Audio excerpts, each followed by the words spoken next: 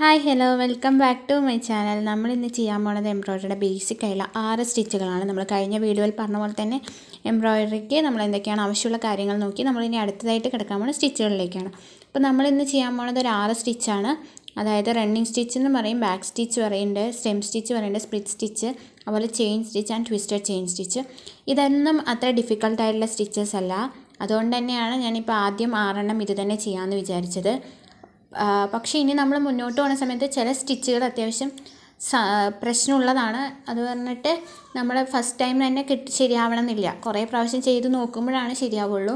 അപ്പോൾ നല്ല പേഷ്യൻസ് വേണം. പേഷ്യൻസ് ഇല്ലെങ്കിൽ എംബ്രോയ്ഡറി ചെയ്യാൻ വേണ്ടി ഭയങ്കര ബുദ്ധിമുട്ടായിരിക്കും. എന്താ വെച്ചാൽ ആദ്യം കുറേ പ്രാവശ്യം തെറ്റിക്കഴിയുമ്പോൾ നമുക്ക് തന്നെ ഒന്ന് മതിയെന്ന് തോന്നില്ല അപ്പോൾ നമ്മൾ ഉപേക്ഷിക്കുക ഉപേക്ഷിച്ച് പോവുക പോയി കഴിഞ്ഞ് കഴിഞ്ഞാൽ നമുക്കത് ചെയ്യാൻ പറ്റില്ല. അപ്പോൾ നമ്മൾ കുറച്ചും കൂടി ക്ഷമയെടുത്ത് കുറച്ച് നേരം സമയമൊക്കെ എടുത്തിട്ട് ചെയ്ത് കഴിയുമ്പോൾ അത് കറക്റ്റായിട്ട് വരും. പിന്നെ അത് പോ തെറ്റുകയില്ല പിന്നെ കറക്റ്റായിട്ട് വരും. പിന്നെ നമുക്കതിന്റെ ടെക്നിക്സൊക്കെ മനസ്സിലാവും.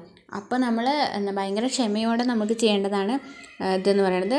അപ്പോൾ നമുക്ക് ആദ്യം തന്നെ നമ്മളിത് ചെയ്യാൻ വേണ്ടിയിട്ട് നമുക്ക് നീഡിൽ ആവശ്യമാണ്. ഞാൻ നേരത്തെ വീഡിയോയിൽ പറഞ്ഞ പോലെ തന്നെ ഐ വലുതായിട്ടുള്ള ഒരു നീഡിൽ എടുക്കാൻ വേണ്ടി ശ്രമിക്കുക. ഇപ്പോൾ എന്റെ കയ്യിലുള്ള നീഡിൽ എന്ന് പറയുന്നത് എന്റെ ഫേവറേറ്റ് നീഡിലാണ് കുറേ കാലമായിട്ട് എന്റെ അടുത്തുള്ളതാണ് കേട്ടോ. അതിൽ അത്യാവശ്യം ഐ വലുതാണ്. പിന്നെ ഒരു ശ്രദ്ധിക്കേണ്ട കാര്യം പറയണത് അതിന്റെ എഡ്ജ് ഭയങ്കര ഷാർപ്പായിരിക്കണം എഡ്ജ് ഷാർപ്പായി കഴിഞ്ഞാൽ നമുക്ക് എടുക്കുമ്പോൾ നമ്മുടെ ഇതിന്റെ മുകളിൽ കൂടി എടുക്കുമ്പോൾ എളുപ്പമായിരിക്കും. പിന്നെ നമുക്ക് വേണ്ടത് ത്രെഡാണ് ത്രെഡ് ഞാൻ ഇവിടെ എടുത്തിരിക്കുന്നത് നമ്മുടെ മൂന്ന് രൂപയുടെ ത്രെഡാണ് അപ്പോൾ അത് നമുക്ക് യൂസ് ചെയ്യാൻ വേണ്ടി പറ്റും. അപ്പോൾ നമ്മൾ ഇത് യൂസ് ചെയ്താൽ മതി ഇപ്പോൾ. പിന്നെ ഈ ത്രെഡ് എടുക്കുമ്പോൾ ശ്രദ്ധിക്കേണ്ട കാര്യം എന്ന് പറയുന്നത് ത്രെഡിന് രണ്ട് എഡ്ജസ് ഉണ്ടാവും. അതിൽ ഒരു എഡ്ജ് വലിച്ചാലാണ് കറക്റ്റായിട്ട് നൂൽ റൗണ്ടിൽ റൗണ്ടിലായിട്ട് വരുള്ളൂ. മറ്റേ എഡ്ജസ് വലിച്ചു കഴിഞ്ഞ് കഴിഞ്ഞാൽ അത് കേട് വരും. നൂൽ അത്ര വൃത്തിക്ക് വരാണ്ട് കെട്ടുപെടാനുള്ള സാധ്യതയുണ്ട്.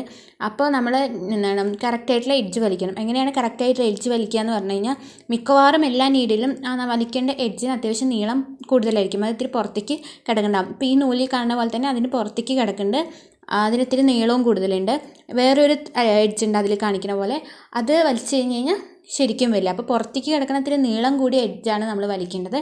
അതിങ്ങനെ വലിച്ചു കഴിഞ്ഞാൽ കറക്റ്റായിട്ട് കറക്റ്റായിട്ട് വരും. മറ്റേതാകുമ്പോൾ മറ്റേത് വലിച്ചു കഴിഞ്ഞാൽ എങ്ങനെയാണെന്ന് വെച്ച് കഴിഞ്ഞാൽ അപ്പോൾ ഇതിൽ കാണിക്കണ പോലെ തന്നെ നമ്മൾ അതിൽ അത് വലിക്കുന്ന സമയത്ത് അത് കുടുങ്ങ കുടുങ്ങി പോവുകയാണ് കാണിക്കുന്നത് ഇതതുപോലെ വരും. പിന്നെ എല്ലാം ശരിയാ കുളമായി പോവും കേട്ടോ അപ്പോൾ നമ്മൾ ഈ നല്ല നീളമുള്ള ആ ഭാഗം വലിച്ചാൽ മതി.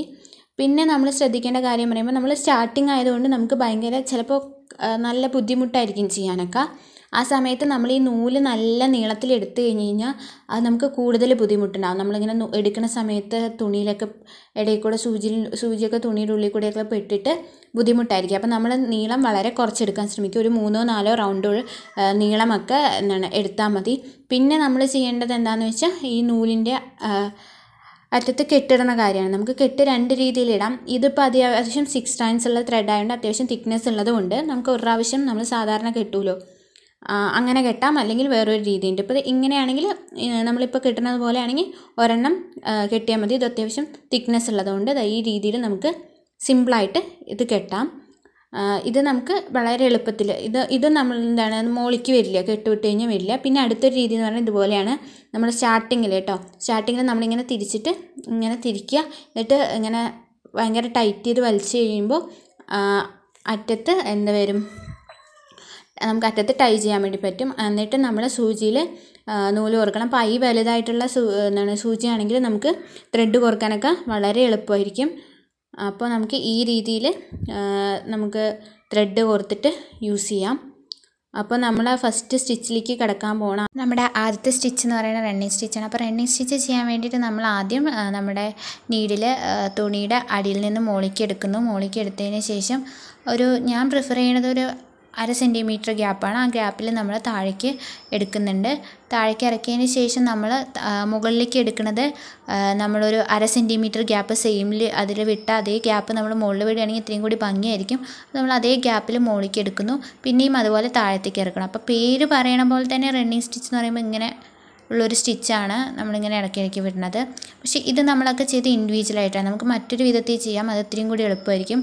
അതായത് നമ്മൾ സാധാരണ പോലെ മുകളിലേക്ക് നീഡിലെടുക്കുക നമ്മൾ ഈ അര അര സെന്റിമീറ്റർ ഗ്യാപ്പിൽ തന്നെ സെയിം എന്നിട്ട് നമ്മൾ സൂചി നമ്മൾ നേരത്തെ ഇറക്കിയ പോലെ ഇറക്കിയിട്ട് കംപ്ലീറ്റ്ലി നമ്മൾ വലിച്ചെടുക്കാണ്ട് അടുത്ത സ്റ്റിച്ചും കൂടി നമ്മൾ ചെയ്യണം.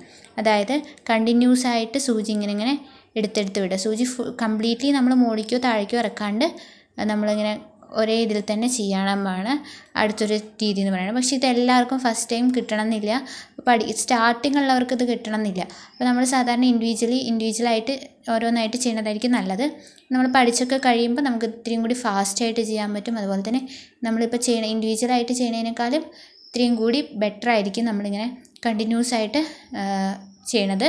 നമ്മൾ ഇത്രയും കൂടി നീഡിൽ നല്ല വലിപ്പമുള്ള നീഡിലാണെങ്കിൽ നമുക്ക് ഒരു എന്താണ് ഇതിൽ തന്നെ നമുക്ക് ആറ് ഏഴ് പ്രാവശ്യം നമുക്ക് യൂസ് ചെയ്യാൻ വേണ്ടി പറ്റും. അപ്പോൾ അത് പഠിച്ചു കഴിഞ്ഞാൽ അല്ലെങ്കിൽ നമ്മളിപ്പോൾ സ്റ്റാർട്ടിങ് ആയത് നമുക്ക് ഇൻഡിവിജ്വലി ചെയ്യണ പോലെ ചെയ്താൽ മതി. അപ്പോൾ നമുക്ക് ഈ രീതിയിലും അതുപോലെ അല്ലെങ്കിൽ ഒരുമിച്ച് ഒരു നാലഞ്ച് ഇതായിട്ട് നമുക്ക് ചെയ്യാൻ വേണ്ടി പറ്റും. എന്നതിന് ശേഷം നമ്മൾ ലാസ്റ്റ് നമ്മൾ സൂചി താഴേക്ക് ഇറക്കും. പിന്നെ നമുക്ക് കെട്ടിടേണ്ട ഒരു കാര്യമുണ്ട്.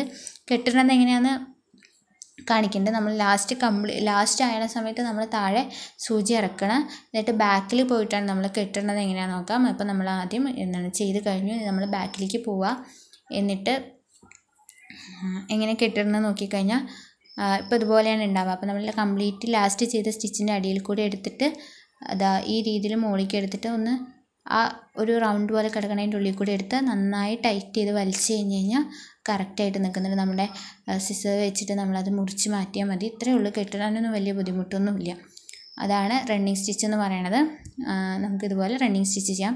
വളരെ എളുപ്പമുള്ള സ്റ്റിച്ചാണ് റണ്ണിങ് സ്റ്റിച്ച് എന്ന് പറയുമ്പോൾ.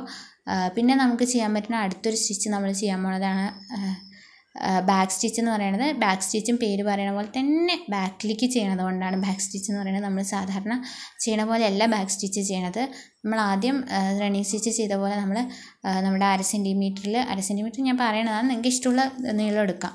ചിലപ്പോൾ അതിൽ കുറവും ചിലവർ കൂടുതലും പ്രിഫർ ചെയ്യുമല്ലോ. അതുപോലെ ബാ റണ്ണിങ് സ്റ്റിച്ച് പോലെ നമ്മൾ താഴേക്ക് ഇറക്കുന്നുണ്ട്. എന്നിട്ട് നമ്മൾ നേരെ ബാക്കിലേക്കാണ് വരുന്നത്. ബാക്കിലേക്ക് വരിക എന്ന് പറയുമ്പോൾ നമ്മളിപ്പോൾ താഴേക്ക് ഇറക്കിയ ഭാഗത്തു നിന്നാണ് സ്റ്റാർട്ട് ചെയ്യുക. താഴേക്ക് ഇറക്കിയ ആ ഒരു ഹോൾ ഉണ്ടല്ലോ അവിടെ നിന്നാണ് നമ്മൾ സ്റ്റാർട്ട് ചെയ്യുന്നത്. അപ്പോൾ നമ്മൾ ഇത്തിരി ഫ്രണ്ടിലേക്ക് കുത്തിയിട്ട് നമ്മൾ നേരത്തെ താഴേക്ക് ഇറക്കിയ ഹോളിൽ കൂടെ ഫ്രണ്ടിലേക്ക് പോവുക. അതായത് ഫ്രണ്ടിൽ നിന്ന് ബാക്കിലേക്കാണ് വരുന്നത്. എന്നിട്ട് നമുക്കിനി അടുത്ത് എവിടെയാണോ വരേണ്ടത് അവിടേക്ക് നമ്മൾ നീഡിൽ കൊണ്ടുപോവുക. എന്നിട്ട് ഇതാ ഈ രീതിയിൽ നമുക്ക് ചെയ്യാൻ വേണ്ടി പറ്റും. നമ്മൾ ആദ്യം ഇറക്കുന്നു പിന്നെ നമ്മൾ മുകളിലേക്ക് നമ്മൾ അര സെന്റിമീറ്ററിൽ കയറ്റിയിട്ട് മുകളിലേക്ക് കൊണ്ടുവരുന്നു. എന്നിട്ട് നമ്മൾ നേരത്തെ ഇറക്കി അതേ ഹോളിലേക്ക് ഇന്ന് പിന്നെ ഒരു പിന്നെ അതിന്റെ മുന്നോട്ടുള്ള അര സെന്റിമീറ്ററിലേക്ക് കൊണ്ടുപോകണതാണ് ബാക്ക് സ്റ്റിച്ച് എന്ന് പറയുന്നത്. ഇത് ഈ രീതിയിലും ചെയ്യാം. അല്ലെങ്കിൽ ഇത് നിങ്ങൾക്ക് എന്താണ് ഇത്തിരി ടഫാണ് എന്ന് തോന്നുകയാണെങ്കിൽ ഇത് ആക്ച്വലി ടഫല്ല മീൻസ് പെട്ടെന്ന് മനസ്സിലാവണില്ല ചെയ്യാൻ പറ്റുന്നില്ല എന്ന് തോന്നുകയാണെങ്കിൽ നമുക്ക് മറ്റൊരു വിധത്തിൽ ചെയ്യാം. ഇത് ഇൻഡിവിജ്വലി നമ്മൾ റണ്ണിങ് സ്റ്റിച്ച് ചെയ്ത പോലെ തന്നെ ഇൻഡിവിജ്വലിയും ചെയ്യാം. അതെങ്ങനെയാണെന്നും കാണിക്കുന്നുണ്ട്. അത് നമ്മൾ ഇതുപോലെ താഴേക്ക് ഇറക്കുക.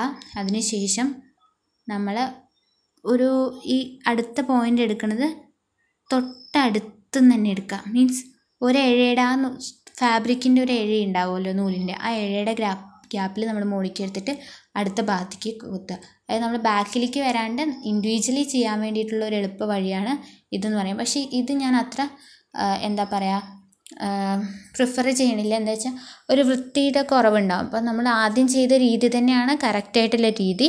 അത് ചെയ്യാൻ കിട്ടാത്തവർ മാത്രം ഈ രീതിയിൽ ചെയ്യുക ഇത് ചെയ്യുമ്പോൾ ഒരു വൃത്തിയിലും ഒരു കുറവുണ്ടാകും അതുപോലെ തന്നെ ആ സ്റ്റിച്ചിന്റെ ആ പേരിനൊരു ഇതുണ്ടല്ലോ. ആ രീതി ചെയ്യണമല്ലോ ആ രീതിയിൽ നമുക്ക് അല്ലെങ്കിൽ ഇതൊരു ക്രൂക്കഡ് പാത്ത് അല്ലെങ്കിൽ ഷോർട്ട് കട്ട് എന്ന മെത്തേഡ് എന്നൊക്കെയാണ് പറയാൻ പറ്റുക.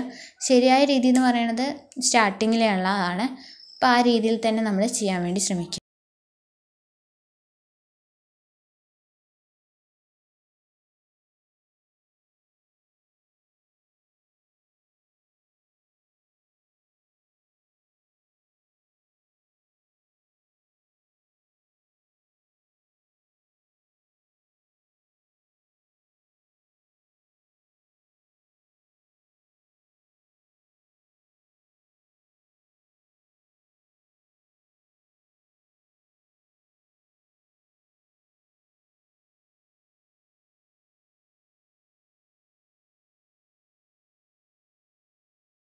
അപ്പോൾ നമ്മുടെ മൂന്നാമത്തെ സ്റ്റിച്ച് എന്ന് പറയുന്നത് സ്റ്റെം സ്റ്റിച്ചാണ് സ്റ്റെം സ്റ്റിച്ച് പേര് പറയണ പോലെ തന്നെ നമ്മൾ വല്ല ഡിസൈൻസ് ഫ്ലവേഴ്സിന്റെ ഡിസൈൻസ് ഒക്കെ വരയ്ക്കുന്ന സമയത്ത് നമുക്ക് യൂസ് ചെയ്യാൻ പറ്റുന്ന സ്റ്റിച്ചാണ് സ്റ്റെം സ്റ്റിച്ച് സ്റ്റെം സ്റ്റിച്ചിന്റെ സ്റ്റാർട്ടിങ് നമ്മൾ നേരത്തെ ചെയ്ത സ്റ്റിച്ചുകളെ പോലെ തന്നെ ആദ്യം നീഡിൽ മോളിക്കെടുക്കുക വെച്ചാൽ നമ്മൾ താഴേക്ക് ഇറക്കുന്നുണ്ട്. എന്നിട്ട് നമ്മൾ നീഡിലെടുക്കുമ്പോൾ ശ്രദ്ധിക്കണം എന്താണെന്ന് വെച്ച് കഴിഞ്ഞ് കഴിഞ്ഞാൽ നമ്മൾ ഇപ്പോൾ താഴേക്ക് ഇറക്കിയ ആ ഒരു അര സെന്റിമീറ്റർ ഉണ്ടല്ലോ. അതിന് ഏകദേശം സെന്ററിലായിട്ട് സെന്റർ മീൻസ് അതിന്റെ സെന്ററിലും പക്ഷേ ആ ത്രെഡിന്റെ പുറത്ത് ആയിട്ട് നമ്മൾ മൂളിക്കെടുക്കുക ആ രീതിയിൽ ചെയ്യുന്നതാണ് സ്റ്റെം സ്റ്റിച്ച് എന്ന് പറയുന്നത്. നമ്മൾ താഴേക്ക് ഇറക്കിയിട്ടുണ്ട്. അതിന് ശേഷം നമ്മൾ തിരിച്ചെടുക്കുന്നത് ഇപ്പോൾ നമ്മൾ താഴേക്ക് ഇറക്കിയ ആ സ്റ്റിച്ചിന്റെ സൈഡിൽ നിന്ന് മൂളിക്കെടുക്കുക അതിന്റെ സൈഡിൽ നിന്ന് മൂളിക്കെടുക്കുക. സെന്ററിൽ കൂടെ അല്ല സൈഡിൽ നിന്ന് മൂളിക്കെടുക്കുക. അതായത് ആ നീഡ് ആ ത്രെഡ് ഫുള്ള് വിട്ട് സൈഡിൽ നിന്ന് മൂളിക്കെടുക്കണ സ്റ്റിച്ചാണ് നമ്മൾ സ്റ്റെം സ്റ്റിച്ച് എന്ന് പറയണത്. അപ്പോൾ നിങ്ങൾക്ക് കാണുമ്പോൾ മനസ്സിലാവുന്നുണ്ടെന്ന് വിചാരിക്കുന്നു. നമ്മൾ താഴേക്ക് ഇറക്കിയിട്ട് നമ്മൾ സ്റ്റാർട്ടിങ് തുടങ്ങണത് ഇപ്പോൾ നമ്മൾ താഴേക്ക് ഇറക്കിയ ആ ഭാഗത്തിന്റെ സെന്ററിൽ ആ ഭാഗത്തിന്റെ സെന്ററിൽ പുറത്തുകൂടെ നമ്മൾ എടുക്കുക. അതിന്റെ പകുതിയിൽ നിന്ന് പുറത്തിന്ന് വീണ്ടും എടുക്കുന്നതിനെയാണ് നമ്മൾ സ്റ്റെം സ്റ്റിച്ച് എന്ന് പറയുന്നത്. അപ്പോൾ ഈ രീതിയിൽ നമുക്ക് സ്റ്റെം സ്റ്റിച്ച് ചെയ്യാം. നമ്മളിങ്ങനത്തെ ഇപ്പോൾ ഏതെങ്കിലും ടെക്സ്റ്റുകളൊക്കെ നമ്മൾ ഫാബ്രിക്കിലൊക്കെ ചെയ്യൂല. ആ സമയങ്ങളിലൊക്കെ നമുക്ക് ഇങ്ങനത്തെ സ്റ്റിച്ചുകളൊക്കെ യൂസ് ചെയ്യാം. ഔട്ട്ലൈൻസ് കൊടുക്കാനൊക്കെ നമുക്ക് ഇങ്ങനത്തെ സ്റ്റിച്ചുകൾ യൂസ് ചെയ്യാം. ഈ തരത്തിൽ ചെയ്യുന്നതാണ് സ്റ്റെം സ്റ്റിച്ച് എന്ന് പറയുന്നത് അപ്പോൾ ഞാൻ ഇതിന് ഇത്രയും കൂടി സൂം ചെയ്തിട്ട് ഇത്തിരി സ്ലോ ആയിട്ട് കാണിച്ചു തരാം.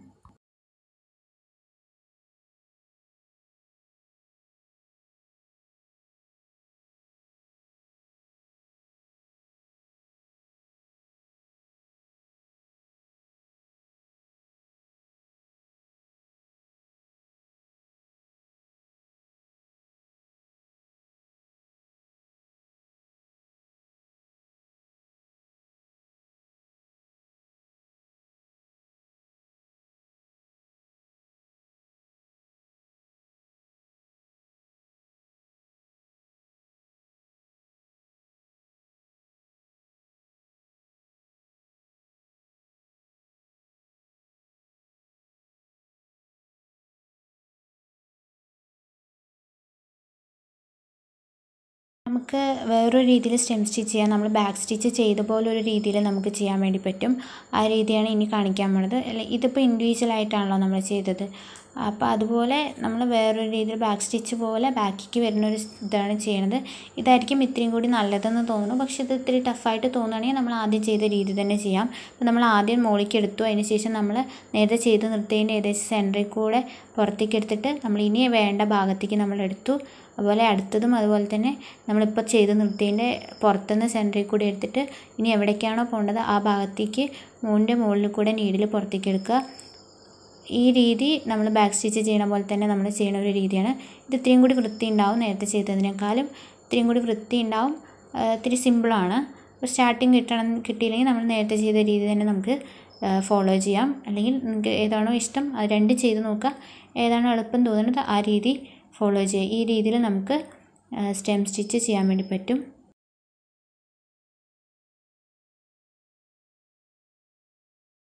നമ്മുടെ അടുത്തൊരു സ്റ്റിച്ചാണ് സ്പ്ലിറ്റ് സ്റ്റിച്ച് എന്ന് പറയണത് നമ്മുടെ ആ പേര് പറയണ പോലെ തന്നെ നമ്മൾ ഇപ്പോൾ പറഞ്ഞിരിക്കുന്നത് സിക്സ് സ്ട്രാൻഡ്സിന്റെ എംബ്രോയ്ഡറി ത്രെഡാണല്ലോ എടുക്കുന്നത് അപ്പോൾ നമ്മൾ നീഡിൽ ഈ സിക്സ് സ്ട്രാൻഡ്സിന്റെയും സെന്ററിൽ കൂടെ അതായത് ബോത്ത് സൈഡിലും ത്രീ സ്ട്രാൻഡ്സ് വീതം ഡിവൈഡ് ചെയ്തിട്ട് സെന്ററിൽ കൂടെ നമ്മൾ നീഡിൽ പുറത്തേക്ക് എടുക്കുന്ന ഒരു സ്റ്റിച്ചാണ് നമ്മൾ സ്പ്ലിറ്റ് സ്റ്റിച്ച് എന്ന് പറയുന്നത്. അപ്പോൾ നമ്മൾ ടു സ്ട്രാൻഡ്സ് ആണെങ്കിൽ അപ്പുറത്തെ ഇപ്പുറത്തേക്കും ഓരോന്ന് ഓരോന്നായിട്ടും അങ്ങനെയുള്ള അതായത് ഈക്വലി ഡിവൈഡ് ചെയ്ത് സ്പ്ലിറ്റ് ചെയ്ത് സെന്ററിൽ കൂടെ എടുക്കുന്ന രീതിയാണ്. ഇതിൽ കാണിക്കുന്ന പോലെ തന്നെ നമ്മൾ ആദ്യം താഴേക്ക് എടുക്കുന്നുണ്ട് എല്ലാത്തിലെയും പോലെ. അതിനുശേഷം നമ്മൾ നീഡിൽ ഇപ്പോൾ നമ്മൾ എടുത്തതിന്റെ ഏകദേശം സെന്ററിലൂടെ മൂന്ന് സ്ട്രാൻഡ്സ് ബൗത്ത് സൈഡിലേക്കും ഡിവൈഡ് ചെയ്തതിന് ശേഷം താഴേക്ക് ഇറക്കുന്നു. പിന്നെയും വീണ്ടും നമ്മൾ താഴേക്ക് ഇറക്കിയിട്ട് വീണ്ടും നമ്മൾ അതിനെ സ്പ്ലിറ്റ് ചെയ്തിട്ട് ആ മൂന്ന് മൂന്നാക്കി സ്പ്ലിറ്റ് ചെയ്തിട്ട് നമ്മൾ മുകളിലേക്ക് എടുക്കുകയാണ് ഈ രീതിയിൽ ചെയ്യുന്നതാണ് സ്പ്ലിറ്റ് സ്റ്റിച്ച് ഇതും നമ്മൾ സെയിം നമ്മൾ ഔട്ട്ലൈൻസിനൊക്കെ യൂസ് ചെയ്യാവുന്ന രീതിയിലൊക്കെ നമുക്ക് ചെയ്യാൻ പറ്റുന്ന സ്റ്റിച്ചാണ് സ്പ്ലിറ്റ് സ്റ്റിച്ച് എന്ന് പറയുമ്പോൾ നമ്മൾ ഇപ്പോൾ എത്രയാണോ നമ്മൾ ഈ ലെങ്ത്ത് ഉണ്ടല്ലോ ലെങ്ത്ത് കുറയുമ്പോഴും ചില എന്താണ് നമ്മുടെ ഡിസൈൻസിനൊക്കെ നല്ലതായി കുറയണതായിരിക്കും ഭംഗി. ചിലതിന് ഇത്തിരി കൂടിയാലും നല്ല ഭംഗിയുണ്ടാവും. അപ്പോൾ നമ്മൾ ഏതാണോ അത് നിങ്ങളുടെ ഇഷ്ടം. നിങ്ങൾ ഏതാണോ പ്രിഫർ ചെയ്യണോ ആ രീതിയിൽ ചെയ്യാം. അപ്പോൾ ഈ രീതിയിൽ നമ്മൾ സ്പ്ലിറ്റ് ചെയ്ത് രണ്ട് സൈഡ് സ്പ്ലിറ്റ് ചെയ്ത് എടുക്കുന്നതാണ്. അപ്പോൾ നമ്മളിങ്ങനെ ചെയ് ഫസ്റ്റ് നമ്മൾ ചെയ്യുന്ന സമയത്ത് കറക്റ്റ് മൂന്നെണ്ണമായിട്ട് ഡിവൈഡ് ചെയ്ത് പോകണമെന്നില്ല പിന്നെ നമ്മൾ അധികത്തിരി ബുദ്ധിമുട്ടിയാലും പിന്നെ പിന്നെ നമ്മൾ സ്റ്റിച്ച് ചെയ്ത് ചെയ്ത് പോകുമ്പോൾ ഓട്ടോമാറ്റിക്കലി ആ മൂന്ന് ത്രെഡ്സ് ആ രണ്ട് സൈഡിലെ മൂന്ന് ത്രെഡ്സ് ആയിട്ട് കിടക്കുന്നത് ഓട്ടോമാറ്റിക്കലി തനിയെ വരാൻ തുടങ്ങും. അപ്പോൾ നമുക്ക് ചെയ്യാൻ വേണ്ടിയിട്ട് എളുപ്പമായിരിക്കും. സ്റ്റാർട്ടിങ്ങിൽ ഇത്തിരി ഡിഫിക്കൽട്ട് ആണെങ്കിലും ചെയ്ത് ചെയ്ത് പോണ സമയത്ത് നമ്മൾക്ക് അത് അവസാനമാകുമ്പോഴേക്കും മൂന്നെണ്ണമൊക്കെ ആയിട്ട് കറക്റ്റായിട്ടൊക്കെ വരാൻ വേണ്ടി തുടങ്ങും. അപ്പോൾ നമുക്ക് ഈ രീതിയിൽ ചെയ്യുന്നതാണ് സ്പ്ലിറ്റ് സ്റ്റിച്ച് എന്ന് പറയുന്നത്.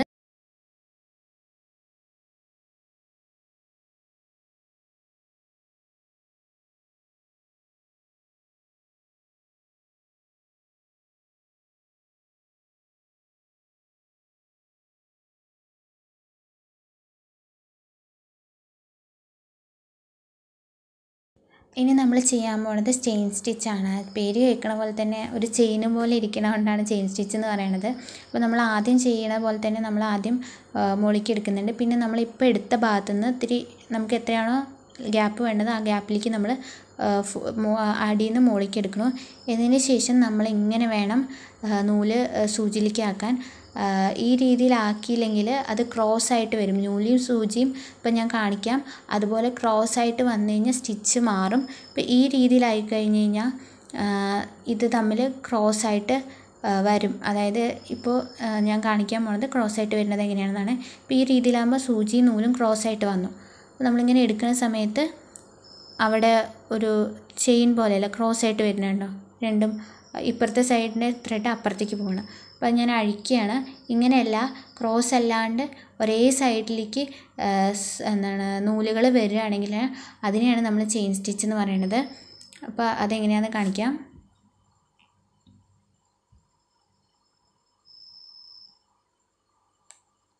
നമ്മൾ ആദ്യം ഇറക്കിയിട്ട് എന്നിട്ട് സ്റ്റാർട്ടിങ് അവിടെ നിന്ന് തുടങ്ങി നമ്മൾ ഇനി എവിടേക്കാണോ വേണ്ടത് അവിടേക്ക് സൂചി എടുത്തു. എന്നിട്ട് നമ്മൾ ക്രോസ് അല്ലാണ്ട് ഇപ്പോൾ ശരിക്കും പറഞ്ഞാൽ ഞാൻ ചെയ്യണത് ലെഫ്റ്റിൽ നിന്ന് റൈറ്റിലേക്കാണ് വരുന്നത്. നിങ്ങളുടെ മിക്കവാറും അങ്ങനെ വരാന്ന് നൂലിന് ഏത് ഭാഗത്തേക്കാണോ കിടക്കുന്നത് അതുപോലെ ഇരിക്കും. ഡിപ്പെൻസ് അപ്പോൾ നമ്മൾ എന്റെ ഇപ്പോൾ ലെഫ്റ്റിൽ നിന്ന് റൈറ്റിലേക്ക് എടുക്കുക. അങ്ങനെ തന്നെ എടുക്കുക. അല്ലെങ്കിൽ ഓപ്പോസിറ്റ് ചെയ്ത് കഴിഞ്ഞാൽ നമ്മൾ താഴെ കാണിക്കണം ട്വിസ്റ്റ് ചെയിൻ സ്റ്റിച്ച് ആവും. അതുപോലെ ആവും. പക്ഷേ ട്വിസ്റ്റ് ചെയിൻ സ്റ്റിച്ച് ഇത്തിരി ഡിഫറെന്റ് ആണ്. ബട്ട് അതുപോലെ ക്രോസ് ആയിട്ട് വരുന്ന സമയത്ത് അത് ചെയിൻ സ്റ്റിച്ച് അല്ല. അപ്പോൾ നമ്മളിപ്പോൾ എന്റെ നിന്നാണെങ്കിൽ ലെഫ്റ്റിൽ നിന്ന് റൈറ്റിലേക്ക് തന്നെ നോക്കുക. അതായത് നമ്മൾ ചെയ്ത് കഴിഞ്ഞ് വലിക്കാൻ നിൽക്കുന്ന സമയത്ത് അത് ക്രോസ് ആവാൻ പാടില്ല. ക്രോസ് ആവാതെ കറക്റ്റായിട്ട് പോകണതാണ് ഇങ്ങനെ റൗണ്ട് റൗണ്ടായിട്ട് പോവുകയാണെങ്കിലാണ് അതിന് ചെയിൻ സ്റ്റിച്ച് എന്ന് പറയുന്നത്. അതുപോലെ ചെയിൻ സ്റ്റിച്ച് ചെയ്യുന്ന സമയത്ത് നമ്മൾ ഒരുപാട് വലിച്ചു കഴിഞ്ഞ് കഴിഞ്ഞാൽ നമ്മൾ ചെയ്തതിന് ശേഷം ഒരുപാട് വലിച്ചു കഴിഞ്ഞാൽ ഒരു പഫായിട്ട് നിൽക്കണില്ലേ? അതുപോലെ നിൽക്കണം. ഒരുപാട് വലിച്ചു കഴിയുമ്പോൾ അതിന്റെ ഒരു ഭംഗി പോവും. അപ്പോൾ ഒരുപാട് വലിക്കേണ്ട അത്യാവശ്യം ലൂസായിട്ട് ഒരു പഫായിട്ട് നിൽക്കണ പോലെ ഒരു സാഹചര്യം ഉണ്ടാക്കുക അപ്പോൾ അത് നല്ല ഭംഗിയായിരിക്കും. അപ്പോൾ ഈ രീതിയിൽ ചെയ്യണതാണ് നമ്മുടെ ചെയിൻ സ്റ്റിച്ച് എന്ന് പറയുന്നത് വളരെ ഭംഗിയായിട്ട് നമുക്ക് ചെയ്യാൻ പറ്റുന്ന ഒരു സ്റ്റിച്ചാണ്. പക്ഷേ ഈ സ്റ്റിച്ചുകളൊക്കെ പഠിച്ചു കഴിഞ്ഞാൽ ഇത് എവിടെയാണ് അപ്ലിക്കബിൾ ആവുക എന്നുള്ളത് നോക്കണം. ചില ഡിസൈൻസിൽ ചിലപ്പോൾ സ്റ്റെം സ്റ്റിച്ച് ആയിരിക്കും യൂസ്ഫുൾ ആയിട്ടുണ്ടാവുക അല്ലെങ്കിൽ കാണാൻ ഭംഗിയായിട്ടുണ്ടാവുക. ചിലതിൽ ചെയിൻ സ്റ്റിച്ച് ആയിരിക്കും. അപ്പോൾ നമ്മുടെ ഒരു ഇതിൽ നമുക്ക് അത് മനസ്സിലാക്കണം ഏത് ഏത് ഭാഗത്തായിരിക്കണം ഈ സ്റ്റിച്ചുകൾ യൂസ് ചെയ്യേണ്ടതെന്നൊക്കെ. അപ്പോൾ ഈ രീതിയിലാണ് നമ്മൾ ചെയിൻ സ്റ്റിച്ച് ചെയ്യണത്. അതിപ്പോൾ എന്റെ ആണെങ്കിൽ ലെഫ്റ്റിൽ നിന്ന് റൈറ്റിലേക്ക് ക്രോസ് അല്ലാതെ ചെയ്യണതാണ് ചെയിൻ സ്റ്റിച്ച് എന്ന് പറയണത്. നമ്മൾ എന്താണ് നേരത്തെ താഴേക്ക് ഇറക്കലേ ഇല്ല. ഇതിപ്പോൾ താഴെ നിന്ന് എടുക്കലേ ഇല്ല. അതായത് ഫുൾ സു നീഡിലും താഴേക്ക് വലിച്ചിറക്കിയിട്ട് ചെയ്യണതില്ല. എല്ലാം കണക്റ്റഡായി കണക്റ്റഡായിട്ട് വരുന്നതാണ് ചെയിൻ സ്റ്റിച്ച് എന്ന് പറയുന്നത്.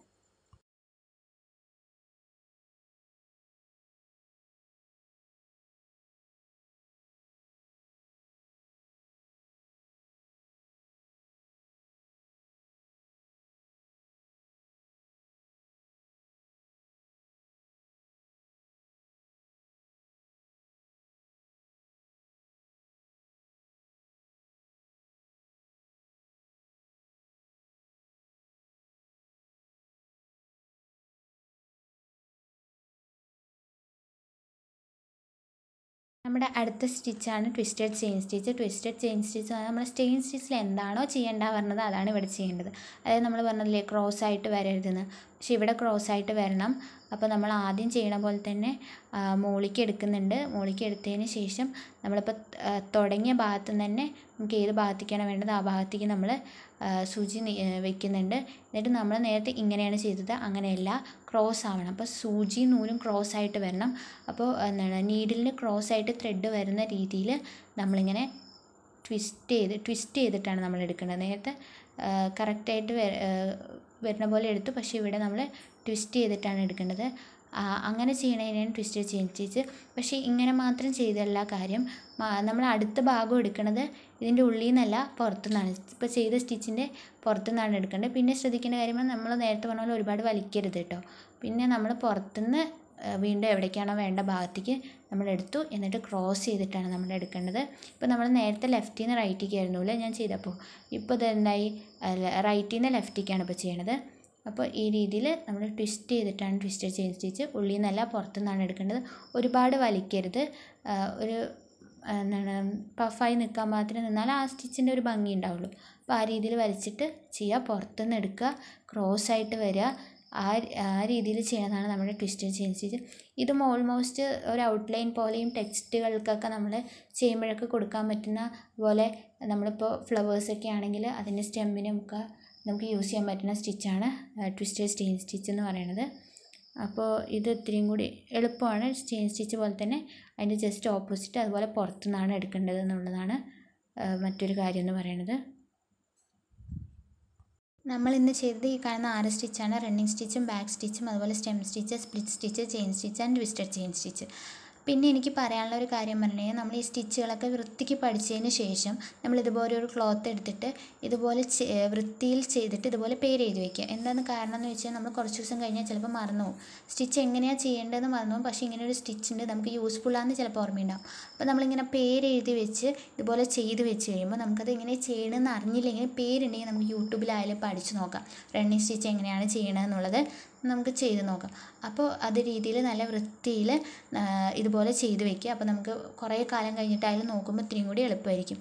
പിന്നെ ഞാൻ ഇന്ന് കാണിക്കാൻ പോണത് നമ്മൾ ഇത്രയും സ്റ്റിച്ചുകൾ പഠിച്ചു. പക്ഷേ അത് നമുക്ക് എവിടെയാണ് അപ്ലൈ ചെയ്യേണ്ടതെന്നൊരു ഡൗട്ട് ഉണ്ടാകും നമ്മൾ കുറേ സ്റ്റിച്ചുകൾ പഠിച്ചിട്ടുണ്ടെങ്കിലും ഏതൊക്കെ കാര്യങ്ങളാണ് അപ്ലൈ ചെയ്യേണ്ടത് ഇപ്പം ഞാൻ കാണിക്കാൻ പോണ ഈ ഒരു ഡിസൈനിൽ ഞാൻ കുറച്ച് സ്റ്റിച്ചുകൾ അപ്ലൈ ചെയ്തിട്ടുണ്ട്. ഇപ്പം ഇതിൽ കൂടുതലും സ്പ്ലിറ്റ് സ്റ്റിച്ചാണ് യൂസ് ചെയ്തിട്ടുള്ളത്.